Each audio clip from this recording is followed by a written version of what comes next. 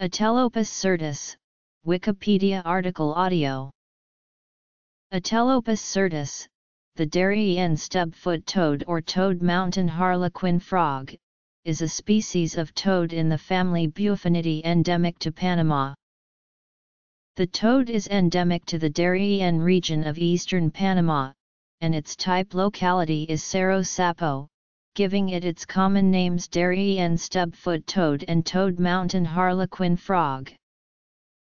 Geographic range Habitat Its natural habitats are tropical montane and submontane forests.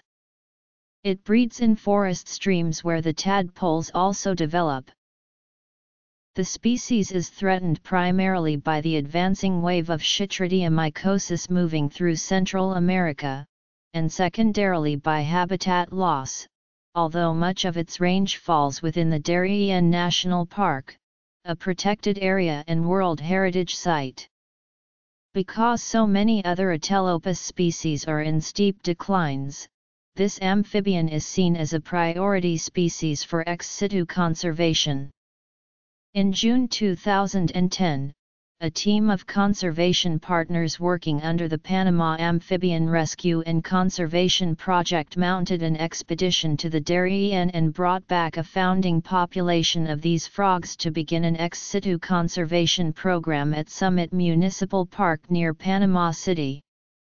A documentary film about this effort was aired in 2011 on Smithsonian Networks entitled Mission Critical Amphibian Rescue. Conservation Status